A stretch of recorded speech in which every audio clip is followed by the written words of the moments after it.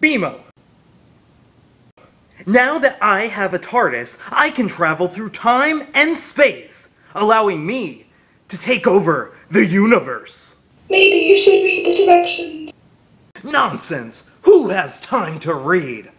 Now that you have a time machine, you should have all the time in the world to read. That's enough out of you! Artificial intelligence, my foot. I don't even have time to read your subtitles. Now, to my ultimate destiny.